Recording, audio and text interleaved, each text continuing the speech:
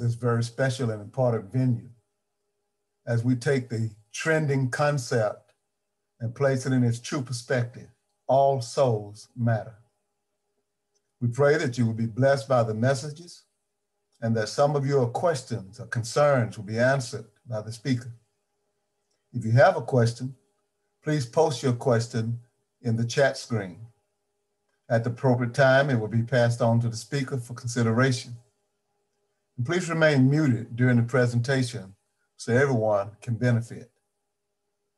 The McAlmont Church of Christ is beginning a Zoom format weekly series carrying that same title, All Souls Matter. You're invited to go along with us for the journey. Different speakers from local congregations and across the nation will be invited to participate from time to time. Special topics will be predetermined and a photo and topic of speakers will be featured every week. It will be an ongoing revival and evangelistic effort and a community empowerment effort to provide spiritual enlightenment and stability during these difficult times. I want to call it, it a vaccine for the spiritual virus. It is manufactured and produced by Heaven's Company headed by the Father, the Son, and the Holy Spirit. Everyone will be able to invest in the stock, but the purchase price will be a currency that the Fed cannot print and the market cannot exploit. It focuses on community outreach, membership empowerment, and evangelism focused on a weekly basis. At this time, we ask you to join us in a word of prayer as we call upon Brother Walter Weathers, an elder at the Carver Road Church of Christ in Greensboro, North Carolina, to word the prayer. Brother Weathers. Let's go to our Father in prayer. Father, we once again thank you for this opportunity that you have given us to come together to hear another portion of your word. Father, we thank you for the for Brother Harris as he saw fit that we need to hear something about all souls matter. Father, we thank you for the congregation there in Arkansas. Continue to be with them, continue to watch over them as they go they, they meet weekly to preach your word. Father, we come on behalf of Brother Caruthers as he will be speaking to us tonight. Bless him that those things that that's relevant to us to hear from you through him, that we may take those words and use them in our lives, Father. Father, we just thank for every soul that's represented here, Father, tonight. Father, we ask you to bless us that we put aside all those things that may help, that may hinder us from the hearing and, and, and incorporating those words into our lives. Father, we just thank you for your son, Jesus, who died on the cross that we may have everlasting life. We ask this prayer in your son, Jesus' name. Amen. Amen. Amen. Our speaker tonight will be speaking for 30 minutes and will then open up for discussion and questions under the theme of All Souls Matter. He'll be addressing the topic, Who Shall Deliver Me? Our speaker tonight, Dr. Jefferson Caruthers. He is a native of Anaheim, California, the son of a gospel preacher, Jefferson Caruthers Sr. I had the grand privilege of working with his father in a mission and found him to be a very encouraging person. And I found that same encouragement in Dr. Caruthers. He's been an encourager for me and an example for me in the academia as well as in service to the kingdom. Jefferson Caruthers Jr. is a graduate of Southwestern Christian College with an AA degree, from David Lipscomb College with a BA degree, Harding University Graduate School of Religion with an MTH, Cleveland State University with a Master of Education, Faulkner University with a Master of Philosophy. He completed the Doctor of Ministry in 2018 at Hood Theological Seminary. Dr. Caruthers is presently a PhD candidate completing his dissertation on African American hermeneutics in Churches of Christ. He is married to Felicia Auburn, to Felicia Spinks of Auburn, Alabama. In 1983, they were parents of seven children, one son-in-law, one daughter-in-law, seven grandchildren.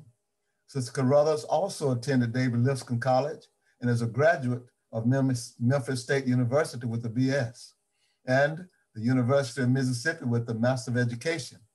She has also completed the Master of Library and Informational Studies with a concentration in archival management at the University of North Carolina at Greensboro.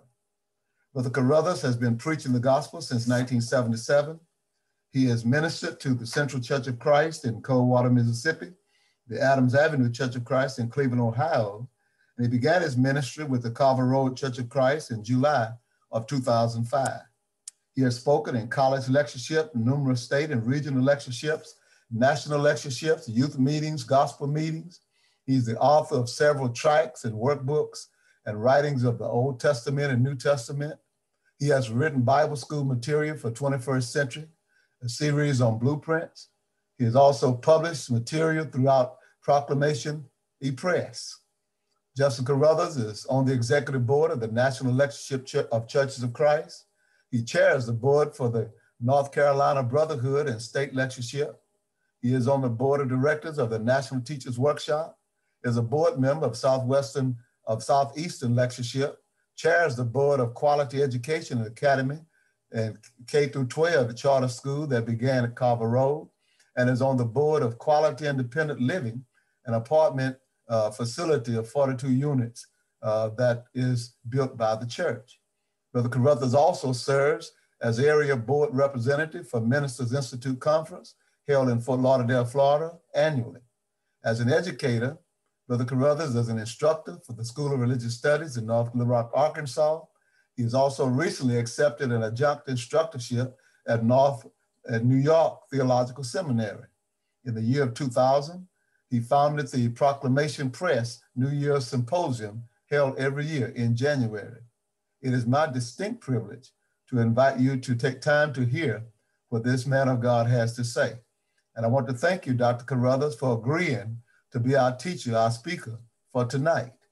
Welcome to the podium, Dr. Caruthers. We now await the message that God has given you to share with us. The microphone is yours.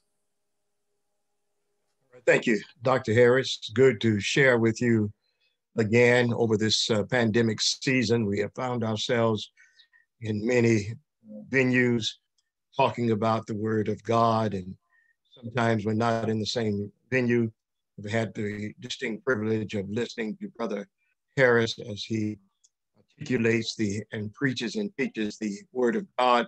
I'm thankful for our association that goes back 38 years to, to 1982 um, is when we met 1982.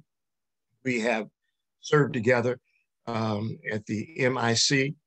In my early years at the MIC, uh, Brother Harris actually was on the podium uh, with me one year. He, he, was talking about Ephesians 5, 19 following uh, in the reciprocal manner. And I was being questioned that year on whether or not solos were, were acceptable in the, in the church. That, that might have been 2001, 2002.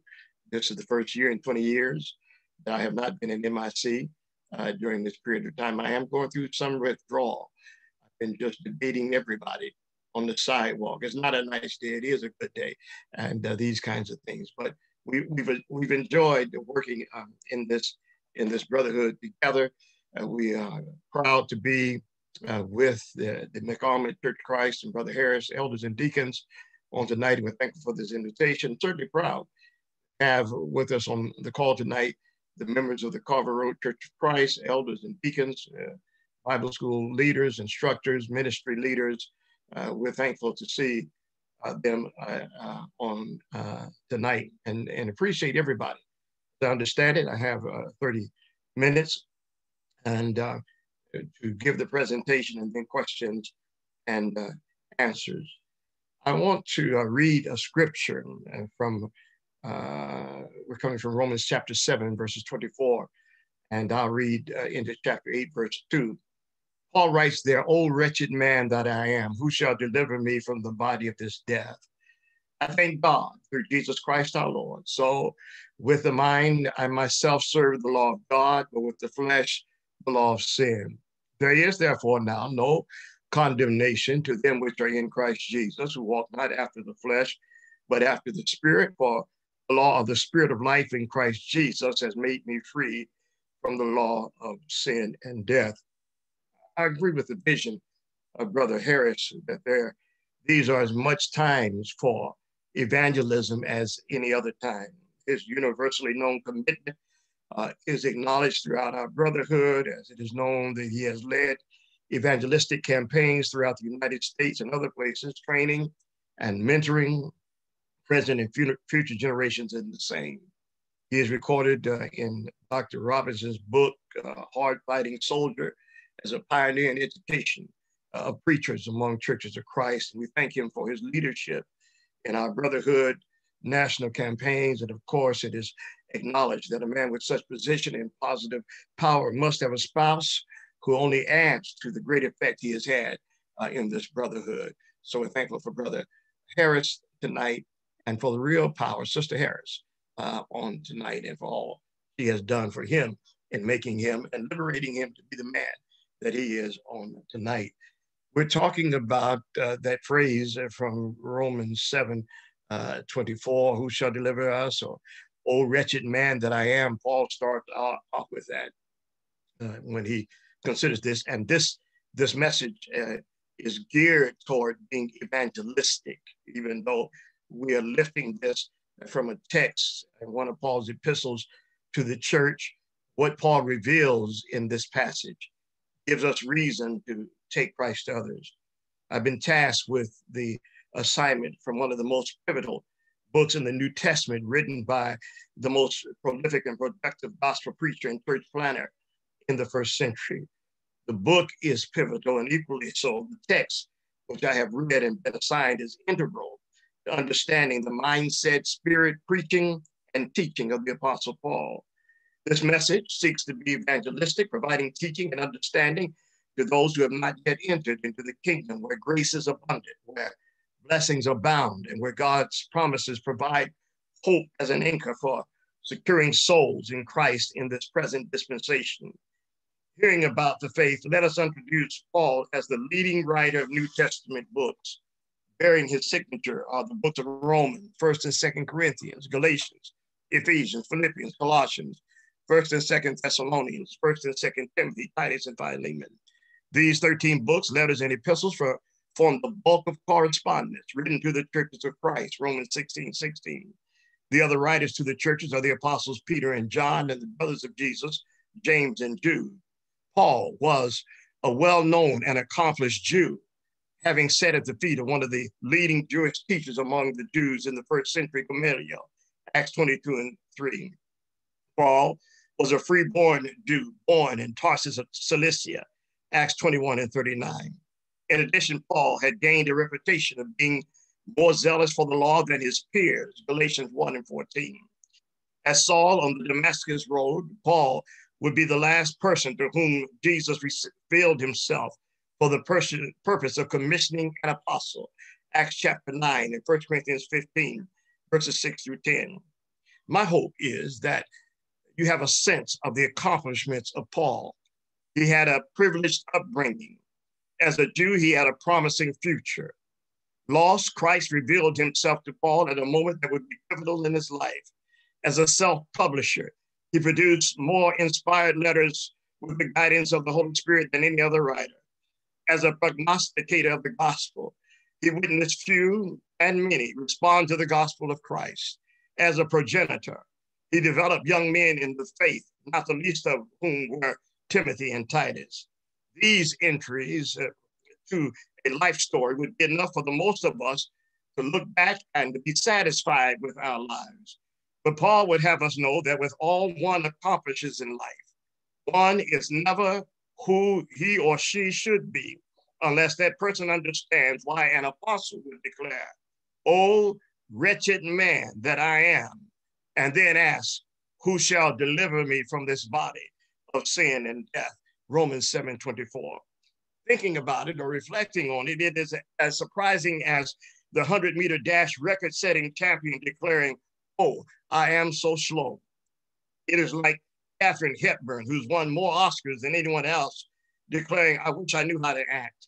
It is like Audra McDonald, African American lady who's won more Tonys than anyone else, revealing that she felt she did not know anything about theater.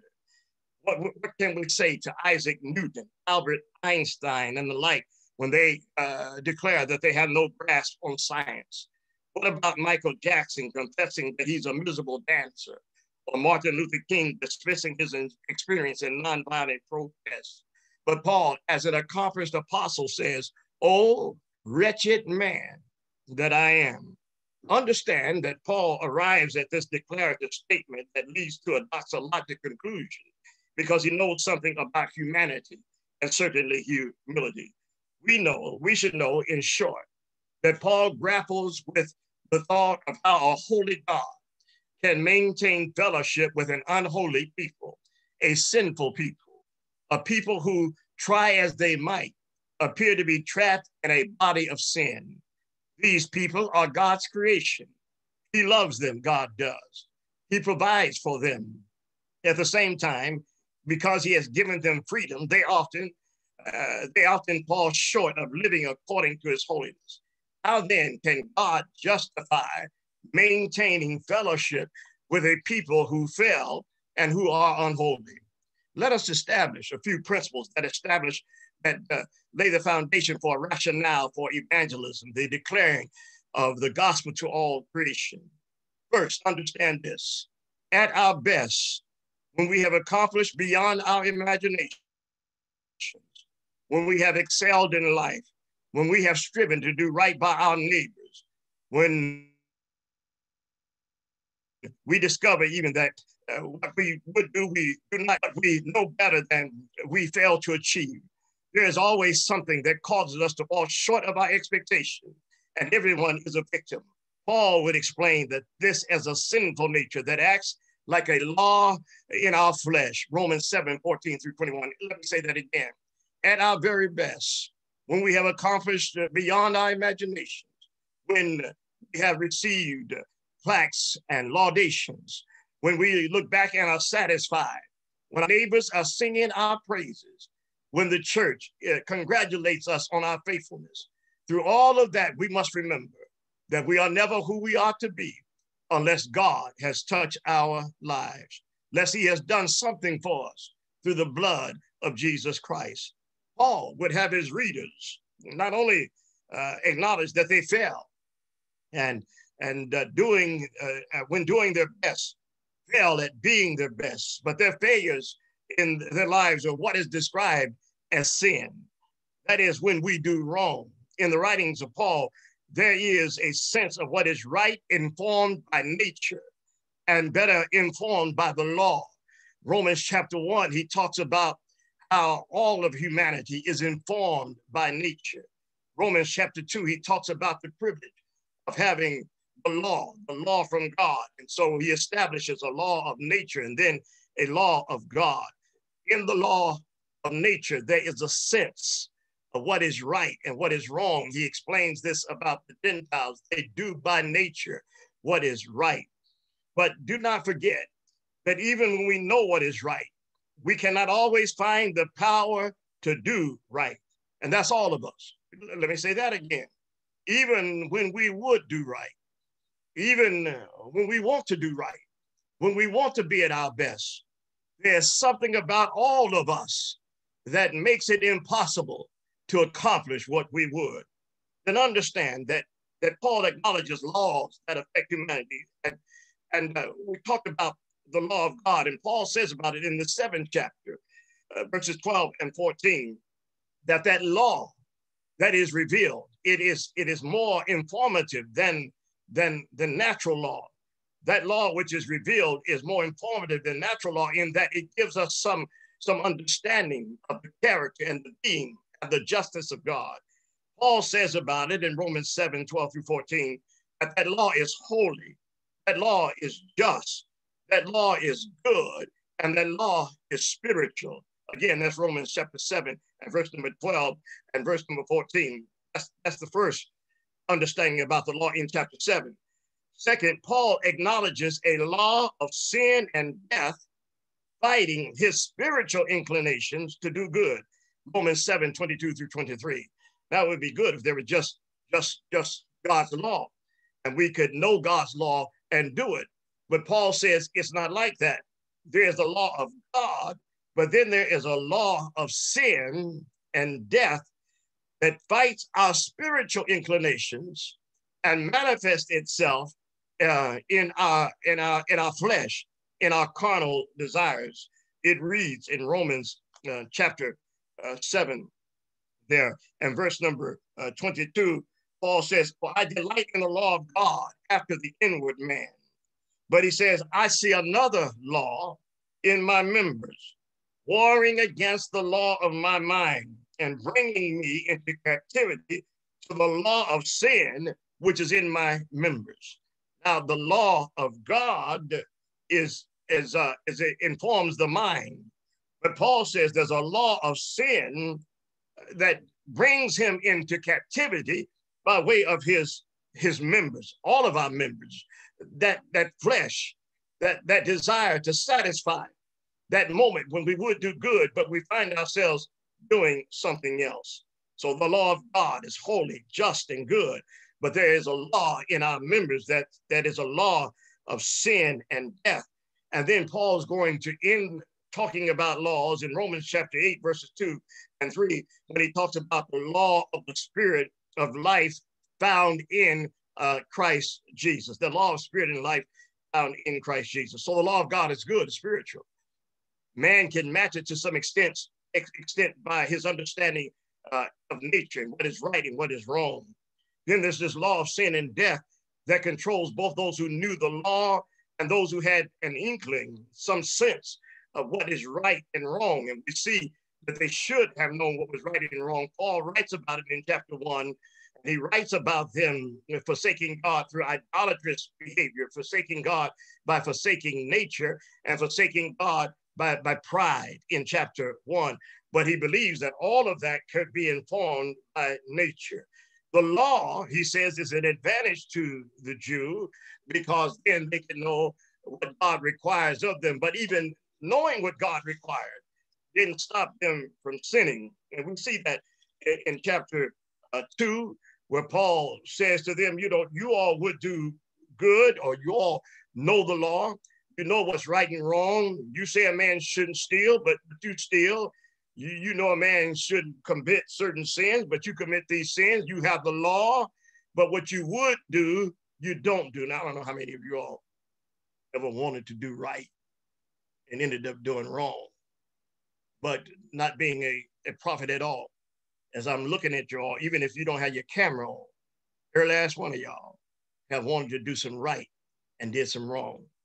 You wanted to go to church Sunday morning, but you stayed too late at the club Saturday. And I didn't mess with but I'm just saying, you was you had set your clothes out for Sunday and all of that, but, but a friend called and, and, said, You got to meet me here. And uh, we're gonna stay a short while. You got there at nine o'clock at 2 a.m. You still you wanted to do right. And you have the proof of it, but you you did wrong. Sometimes when we have done people right wrong, we want to tell them uh, ask them for forgiveness. But when we see them again, something comes into our minds. I ain't asking for nothing from this person. We want to do right, but we don't. Understand that what a natural moral law could not do, what a spiritual holy law could not do, the law of the spirit of life found in Jesus Christ could do. Well, how does it do it? How does it work? Know that one cannot be righteous by living a good moral life. Now I'm talking evangelistically now. We meet people who live good lives, better lives than folk who come to worship sometimes. They are good people. They uh, donate blood. They donate to food banks. They they stand up for social justice. They are moral people who go to work and, and don't harm anybody, don't give anybody any trouble. But the truth is that one cannot become righteous living a good moral law because there will still be sin. There's a law of sin and death working in his or her members. Understand one cannot be righteous by working the works of the law. You can be like that rich young ruler who says to Jesus uh, in Luke chapter 18, All of these have I kept from my youth up. You can live by the law but you cannot become righteous by the law. There will be failures, even knowing the law. The only answer to the dilemma is that God does not accept us by our righteousness. God does not accept us by our works, but by the righteousness of Jesus Christ, who died for the sins of all. You know the passage, Romans 3.23. The part I'm reading is really to the Jews, but uh, it concludes by making the statement that is applicable to all. Romans 3 and verse 23, Paul writes there, uh, let me start at verse number 22. Even the righteousness of God, which is by faith of Jesus Christ unto all and upon all them that believe, for there is no difference, for all have sinned and come short of the glory of God, being justified freely by his that is in Christ Jesus, whom God set forth to be a propitiation through faith in his blood, to declare his righteousness for the remission of sins that are past through the forbearance of God. Now, I asked in the beginning, how can a holy God have relationship with humanity and a humanity that sins? Because that, that, that humanity cannot make itself righteous by observing moral law. It cannot make itself righteous by observing the law of God, working by faith, because in both instances we fell. We all fail. We we wanted to do right, but we didn't do right. The only way that we can have that relationship with God is through his promise of bringing us into righteousness by his son, Jesus Christ. That is, those who are in Christ become righteous. Here's the challenge faith in the promise of God. Faith in the promise of God that all can be made righteous through Jesus Christ. Let me read uh, part of that. Romans chapter 5 and uh, verse number 1. Romans chapter 5 and verse number 1. The Bible says, Therefore, here's how we're justified not by our moral behavior, not by observing the law. Therefore, being justified by faith, we have peace with God through our Lord Jesus Christ, by whom also we have access by faith into this grace wherein we stand and rejoice in the hope of the glory of God. Let me put it to be this way. One of the most famous, famous movements in religion has been the Reformation movement.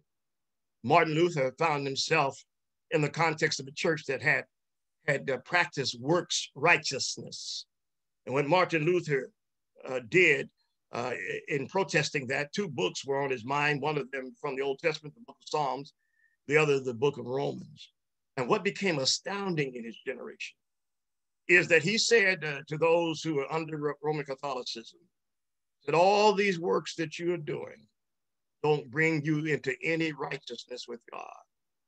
You can live righteously, and do good works all week long, but you don't get righteous before God through those works. Martin Luther said, you can only get righteous by faith in what God has promised. And if you observe what God has promised, God will not remember your sin anymore.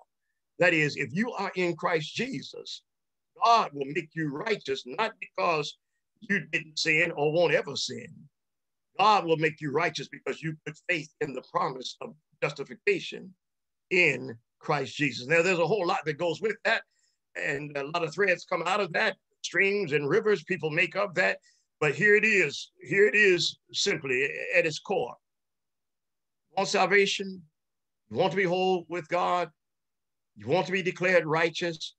Then take advantage of uh, advantage of the grace of God through faith in the promise of God, manifest in His sending Jesus to be righteousness for us. He who knew no sin became sin that uh, those of us who are not righteous could be righteous through Jesus Christ. So does that mean that we give up on living before God? Well, we can't, we can't, we can't entertain all of that tonight. One of the first things Brother Harris said when he came on the program, he got 30 minutes, which means he meant that. Uh, there's nothing to play with. He wasn't playing. He's saying 30, 30 minutes. So when Paul says, "O wretched man that I am, who shall deliver me from this body of sin and death, he becomes doxologic. He reminds us again of what this what his letter is about. He says, I praise God. I, I give God glory. Uh, I, I, I, I lift up my hands to God, we would say. He says, I thank God through Jesus Christ our Lord, so that with the mind I myself may serve, I serve the law of God. Uh, and with the flesh, but with the flesh, the law of sin. Then he says there's no condemnation for them who are in Christ Jesus. And the King James Version adds here, who walk not after the flesh, but after the spirit. But verse number two reads, For the law of the spirit of life in Christ Jesus has made me free from the law of sin and death. So here's what we're saying to those who haven't come to know God through Jesus. God certainly recognizes and appreciates our acknowledging the good that us to be successful. God is the one who's blessed us all of our lives. God blesses us before we even come to Jesus Christ. Uh, every good thing going on in our life, God is responsible for that. But our, our blessings have been multiplied when we come to know that God desires an even closer fellowship with us through his son, Jesus Christ, fellowship where we are justified before him, have full fellowship and access to him. Because of his grace and mercy. Uh, and because of our faith in that grace and mercy, that we can be saved even today by believing that Jesus did indeed die for our sins, be buried, and rise again. Being willing to repent of a life outside of Christ and contrary to Christ, confessing Christ as Lord, Romans 10 9 and 10. Being buried in baptism, that sin problem is taken away because God can never have close fellowship with us until our sins are covered. That happens in baptism, Acts 22 16, Acts 2 38. Then we're sealed by God's Holy Spirit, gifted by God's Holy Spirit, or with God's Holy Spirit, Acts 2 38, and by God's Holy Spirit in Ephesians 1 13. Yes, God cares for all souls. All souls matter. And we're thankful to Him tonight that we can, that all of us can have our problem, our sin problem taken care of in Christ Jesus. I'll turn you back over now to Brother Harris.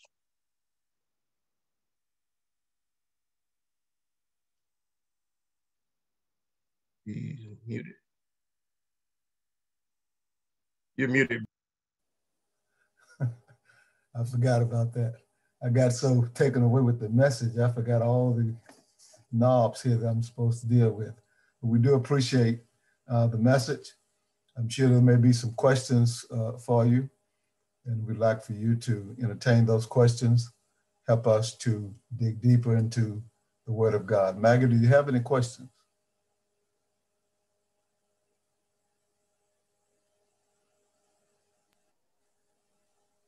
Unmute. I don't have, can you hear me? Hello? Yes. I don't have a question, just a comment. Uh, this was such a wonderful and great reminder. Nothing new, but just a reminder. Just keep us on task and just continue to do what we're doing. Thank you, Brother Carter. Thank you. Okay. You got questions, Maggie? I always talk about other people when they're on mute and talking, and I just did that. So, but yes, I do have some questions. So, our first question is how, hold on, before I read this one, let's take the one from the chat first. So, the first question is What does it mean with the flesh, the law of sin in verse 25? Yeah, that, what, make sure. Yeah, what Paul has reference to are those inclinations within us that keep us from living up to what we know is a God standard. Um, it affects us to the extent that what we would do, we don't end up doing. All of us have experience with that because uh, all of us uh, have sinned when we wanted to, and other times we've sinned when we didn't think we were going to. Uh, and and Paul says this is consistent as consistent in human beings as, as would be a law, a law of nature, a law of nature. It's there, it's, it's within us. They're with us every day. And uh, you take Paul, who, who said about himself that he lived in all good conscience, that uh, he exceeded others uh, in how he lived, being more zealous of the traditions of the fathers, zealous of the law. He was he lived more godly than his equals. But what Paul was confronted with is as much as I have done, as much as I have accomplished, there's still something uh, that keeps me from being what God would want me to be. And he sees as the only answer to that is to live serving God uh, uh with the uh, mind, uh, seeking every day uh, to live in patience before God, and at the same time recognize his failures, understanding that his failures are covered not by his works, but by his commitment to his faith in Christ Jesus. If he's got Christ Jesus, everything is going to be all right. That, that's what empowers him to keep going. God is not counting his sin against him.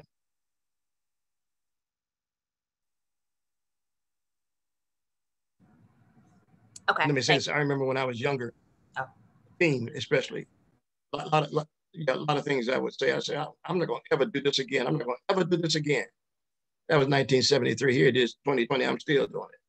So uh, the stuff we, we, we hope we could stop, do better than, not do, is still there. There's a law working in our members that keeps us from being all that we want to be.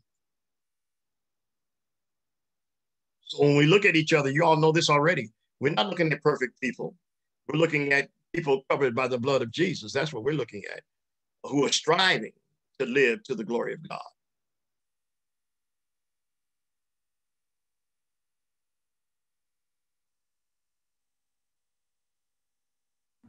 Yeah, okay. someone has asked, Mary McGee has asked, is it important for us to recognize that we have sinned in order to be forgiven? Uh, yeah, here's the thing.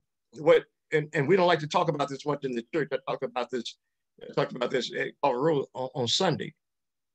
What separates us from God and what has always needed to be taken care of, even from the days of the prophets, is our sin problem. When Jeremiah 31 was written, Jeremiah says, what's going to happen is I'm going to put the laws of God in, in their heart. They won't teach every man his neighbor, nor saying, know the Lord. But then Jeremiah in that discourse says, and um, their sins and their iniquities will I remember no more.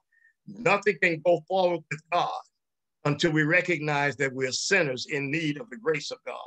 We must know that it is sin that separates us from God. That's how we come to appreciate Jesus Christ.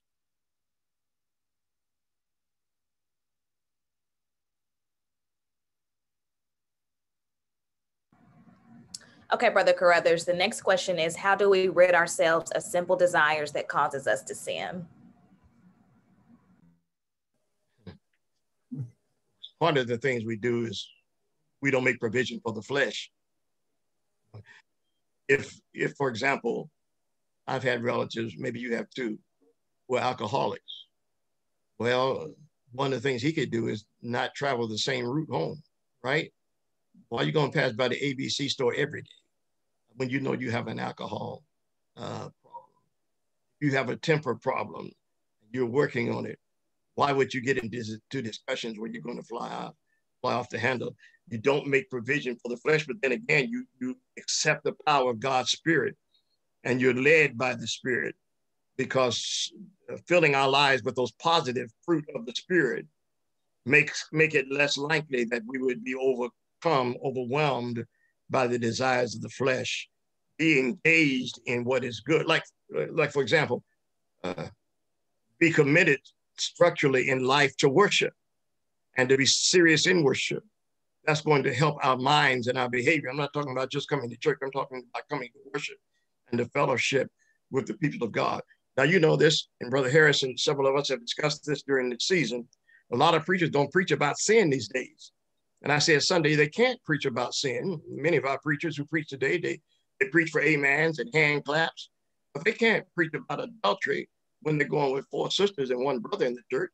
You can't preach about sin when you have that going on. You, you, you can't preach about sin when you empower people in the church who are not faithful to teach your Bible class. Five out of eight of your teachers are shacking, and you say that's all right. You're not teaching people about the seriousness of sin and so you hear a lot of sermons about no weapon formed against you is going to defeat you. Yes, it will. Uh, when you're walking in sin, that God's on your side, that your blessings about to come, all of that nonsense preachers preach that can be true. But if I won't live righteously and get out of sin or partner with sin, then the Bible doesn't teach that God's trying to uh, move me on up to the east side uh, with Jefferson and them. That's not what the Bible teaches. But our preachers are preaching that. You know why they preach it? Because our members love to hear it. I think Paul called it itching ears. We would rather go to an assembly and hear a preacher never talk about sin than to be honest with ourselves and know that we need to rid ourselves of these boyfriends and girlfriends, both at on our neighborhood, the boyfriends and girlfriends um, on our job. You know, some people have work spouses. I mean, uh, yeah, work spouses. You know, they got a spouse at home and a, and a spouse at work. This duplicity uh, in our lives is the reason we don't talk about sin from our pulpits uh, any longer. And we, we have to get back to letting people know the reason you need Jesus because of sin in your life. You don't need Jesus to get you a raise on your job. Deal with your sin, and then your raise will come if God says the same.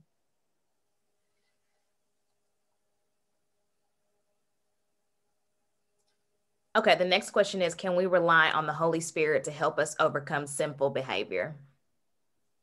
The Holy Spirit is, is power for those who will allow themselves to be filled with the Spirit. Ephesians 5 and verse number 18, the the Spirit will direct us and, and guide us, as I mentioned earlier, if we if we uh, living right. Um, let me put it this way: my mother kept me out of sin by the power of my mother. I stayed out of sin because she led me to be in school during school hours. If I had forsaken her instruction and gotten in trouble, although she was leading me and empowering me by instructing me, then I still would have been in trouble.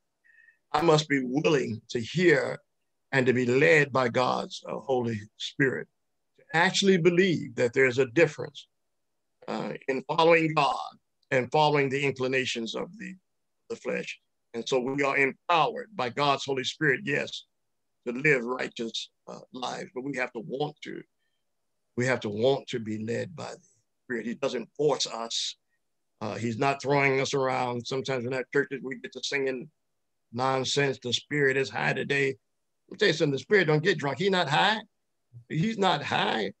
Uh, he set it on fire today. You don't want the spirit to set fire on you in your church. Fire is for those who condemn. Our God is a consuming fire. But we, we, say a whole lot of stuff in our churches that are not that's not based, and it's because you know we decided we knew everything. Uh, we don't need Bible class. We don't need church. We've got a degree, a social degree, uh, bachelor's degree, uh, master's degree, a doctorate degree, a postdoctorate experience with some smart people, but we still sinners who need Jesus Christ. Uh, the best of us can only ever be so intelligent. And that intelligence does not measure up to the wisdom of God at any level. It remains foolishness with God. So we need to be humble enough to allow God to lead us. I, I want to say, we need Jesus. We need Jesus uh, in our lives. Everybody does. And we need to be willing uh, to hear what he says and to follow God's spirit.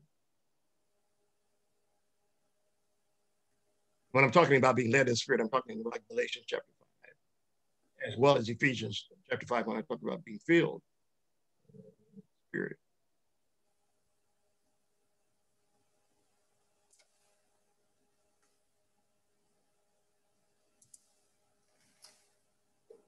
You got any more questions, Maggie? Um, I have one more if no one from the chat would like to put one in. Is that not one in the chat? They've been answered. Um, are Christians required to glorify God in their physical bodies as well as in their spirits? I didn't think my stomach was showing tonight. Why are you picking? you know, yeah, yeah, yeah so long as we understand this, bodily exercise profits little. Uh, that uh, what really profit, profits us is godliness. Even the apostles talked about God's people being well, being in good health, Second John, these kinds of things. We certainly should not uh, be abusive to what God uh, has given us. Be mindful that God does want us healthy. We pray, we pray for our health as Moses is, is receiving the law, God is saying to him that if they walk upright, they won't have the diseases of those around them that and that would be blessed in their in their bodies it, equally so god doesn't wait to heaven to bless us. God blesses us right now uh, in this life. We should live it to its fullest, but we should not do this. I know a church that's passed during the pandemic, they canceled their Bible class to have um, to have gymnastics on Wednesday night. No, no, don't do that. Uh, keep your Bible class and find another night for gymnastics. Spiritual development uh, among the children of God. And our first priority with our assembly is to encourage and build up each other uh, in the word. We can have fellowship, sewing, knitting, learning how to operate cameras, Zoom, and even gymnastics. Don't start substituting uh, the Bible time for building up the flesh.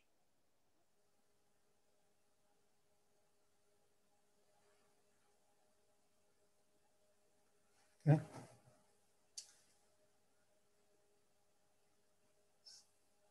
Dr. Caruthers, Yes, are there any, is that something you'd like to share with us that you didn't get a chance to, to do while in your presentation? yeah, I want to say again, we appreciate everyone uh, who's on tonight, back on and other places. Appreciate Crawford Road. Appreciate Sister Caruthers. Uh, I met her a year before I met Brother Harris, but I married her in 1983. Uh, let me go over again that uh, uh, the good news tonight is that we all understand that uh, God knows our, our weaknesses, our failures, but He's made provision for our sin, for our weakness, our failure. He didn't, He does not make that provision regrettably. He makes that provision because He loves us, is what the text says in John 3 16. What He encourages us to do then is to have faith in His promise. That's what chapter 4 is about in the book of Romans that Abraham was not saved by his works or by circumcision, but because of his faith in the promises. And uh, as difficult it is for us to accept sometimes, the overriding factor in our salvation is not our goodness, not our works, but it's the blood of Jesus Christ. So we need to worship him, praise him, hold on to him, glorify him, so that the Father may be glorified. as we deal with developing new members in the body of Christ, and as we think about passages that we're looking at in the Epistle to the Romans, can you give us some guidance or some advice on the simplifying of this message for those who have no skills in studying the Word of God? What would you say to us in trying to make sure that we don't miss people? I think I would I would start where Paul starts in chapter one with the gospel of Jesus Christ. What he says is, I'm not ashamed of the gospel of Jesus Christ, it's the power of God and the salvation to all who believe, to the Jew first and also to the Greek. Therein is the righteousness of God revealed. We learn about God's righteousness by way of the gospel. And that gospel says that God saves us through Jesus all by himself and simply put to the new convert, you've been saved because of what Jesus has done, not because of your strength or your intellect or your wisdom. And now you have been empowered by that gospel to live to the glory of God. In chapter eight, uh, God's Spirit uh, empowers you, seals you, makes you his uh, makes you his child. If this sounds too good for you, understand it's always been about God's choice, according to Romans 9 through 11, he has mercy upon whom he will have mercy. He demonstrated that mercy on the sons of Abraham and Isaac and Jacob upon Israel. He chose them according to his will, and he chooses those of us in Christ Jesus to be saved. And then to remember that he follows up that mercy lesson in Rome, with Romans 12 by saying, I beseech you, therefore, brethren, that by the mercies of God, that uh, because you've been shown mercy and grace, present your bodies a living sacrifice, wholly acceptable unto God, which is your, your reasonable uh, service. Salvation came through Jesus. God did it for us. We didn't do it for ourselves. He keeps us by his spirit, and then he invites us to live to his glory. And at the most basic level, uh, that's where we can all begin accepting that salvation, appreciating that invitation to work, and allowing that those works to glorify uh, God.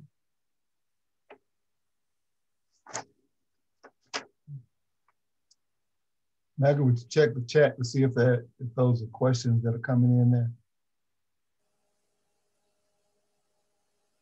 No questions, just people praising um, Dr. Caruthers' message.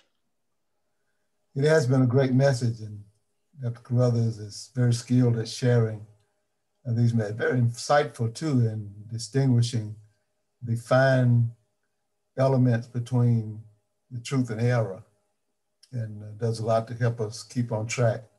He's working to help the millennials and uh, the baby boomers to find that path of togetherness in the body of Christ. And I'm praying for the success of that venue, hoping that God will bring us to the same common faith as we grow older and as we move forward.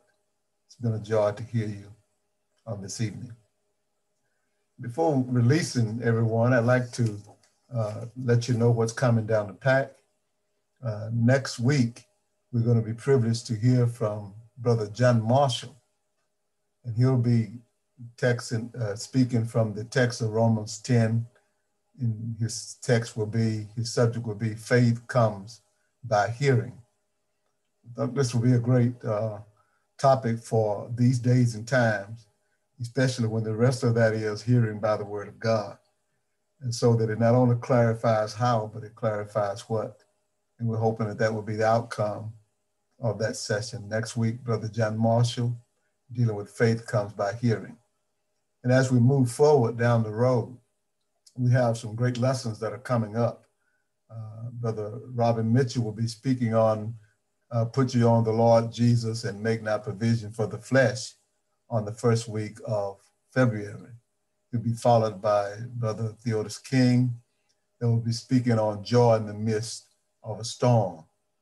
And then uh, digging deep into the month of February, we'll be receiving messages like civil rights, racism, injustice, and protests, of women in the Church of Christ in the 21st century, premarital relations, marriage, divorce, and singleness, and the power to change or overcome some lifestyle choices. So those are topics that are coming up, and speakers from around the country will be sharing those messages with us. And again, Dr. Caruthers, we thank you so much for the powerful message that you've shared with us on this evening. Um, thank you, brother. Thank you, Dr. Harris, for this opportunity. And we're praying that God continue to bless all.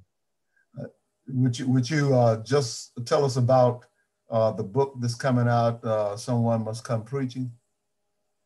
Yeah, um, this work uh, was uh, developed by Brother Michael Crusoe.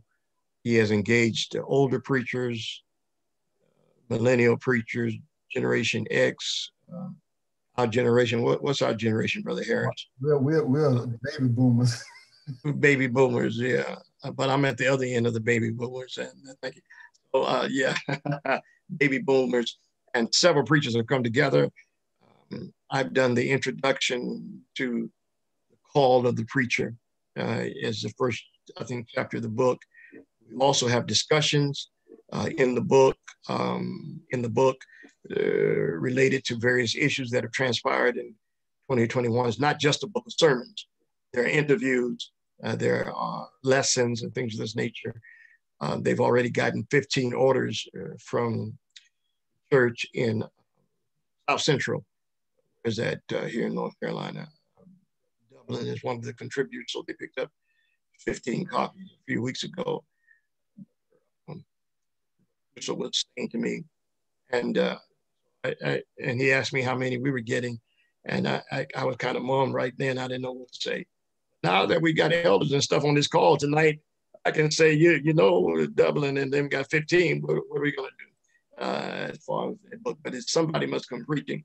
We're thankful for all of the contributors, Brother Harris and everybody in that book. And we encourage you to pick up a copy. I think it's going to come out. Um, you remember Brother Harris, uh, May or June? Or, I forget the, the release date. Uh, I know that they're, they're doing advanced sales right now for the book.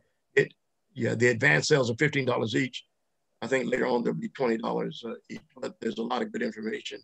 Young preachers and older preachers. I can't wait to get it because I want to hear what the younger preachers are saying. Uh, and uh, so I can have something to argue about. But uh, anyway, yeah, we look forward to the release. Okay.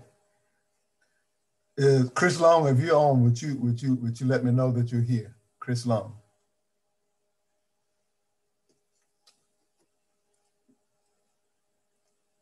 Robert Maxwell, are you still are you still on the line?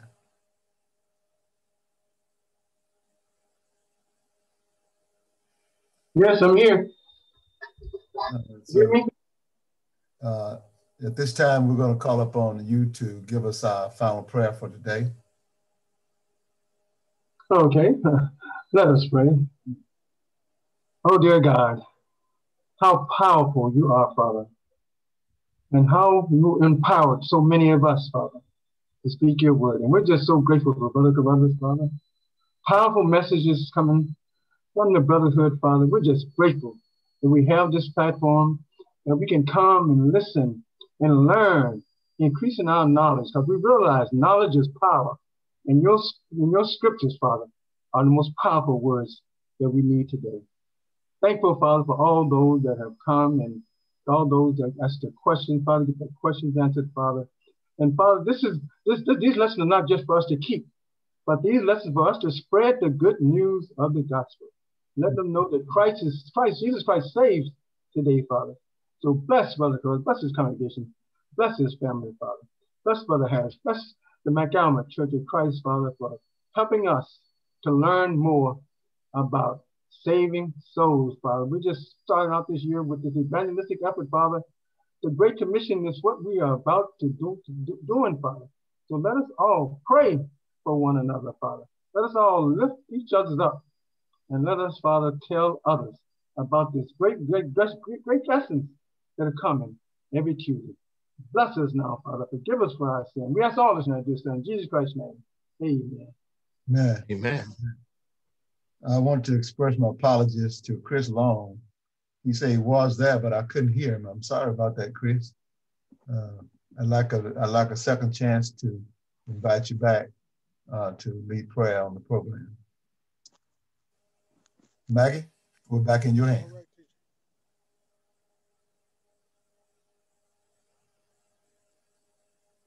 Okay, so thank you all for joining us tonight. Thank you, Dr. Caruthers, for that excellent message. And also, it's nice to see your lovely wife on here, Sister Felicia, and uh, your Carver Road family.